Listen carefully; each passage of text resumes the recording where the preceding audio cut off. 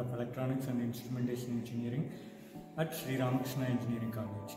We dive into the world of instrumentation engineering where every drop tells a story of innovation and mastery. We are going to stepping into the world of three tank system where control valves and sensors play a vital role. The three tank system consists of three tanks where flow of fluid is controlled through control valves. The three tank system is a classic example of process control and instrumentation engineering. This serves as a fundamental model for studying concepts like steady state response, level control, and dynamics. The principles are applied in various real world processes such as chemical plants, petroleum refineries, and water treatment facilities, and other industrial mixing plants. First, the system is analyzed to evaluate the performance of the control system.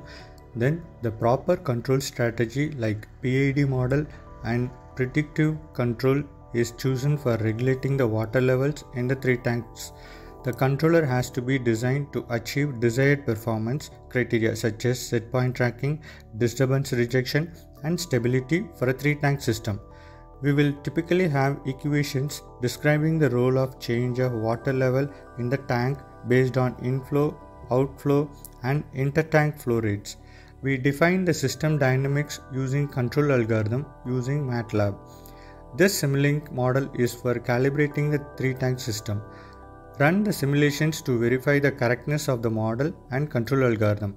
We validate the control system through rigorous testing under various operating conditions and scenarios.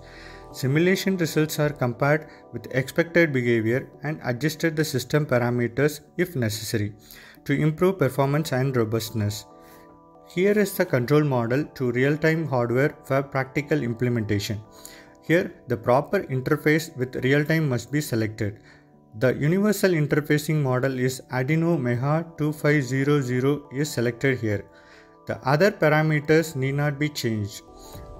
Click button to ensure reliable performance in regulating water levels across the tanks.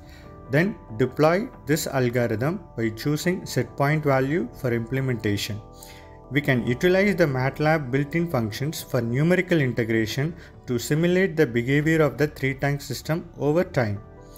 Test the system response to changes in set points. The simulation result gives with expected behavior.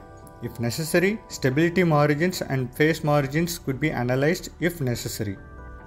Here, the control model is simulated and produces fine result irrespective of disturbance in the three tank system.